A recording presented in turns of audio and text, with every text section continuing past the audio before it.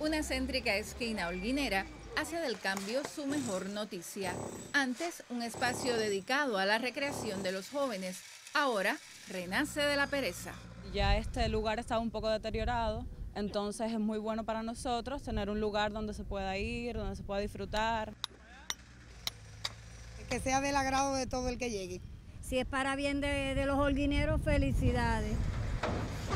Los constructores llegaron en serio hace más de un mes. La edificación se convierte en el centro gastronómico Armando Mestre para asistir al cumpleaños 300 del pueblo de Holguín en abril venidero. Vamos a tener tres áreas. Una el área de la heladería, el otro el área del restaurante y el área infantil eh, para niños de corta edad.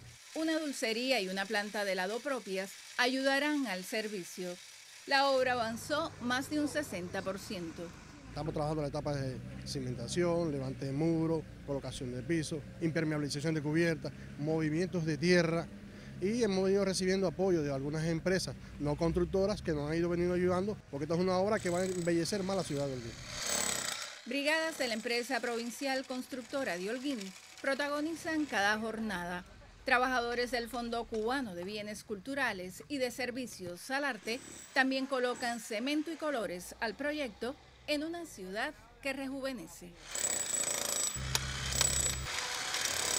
Sí, yo he visto que se están recuperando en otros lugares aquí en la ciudad también, que es muy bueno y, y hay que continuar haciéndolo. La cabecera provincial enfrenta a más de mil acciones constructivas en vísperas del aniversario 300 del pueblo de Holguín. Otra conocida esquina despierta a tiempo para acudir a la fiesta. De ese Holguín Marel González, Sistema Informativo de la Televisión Cubana.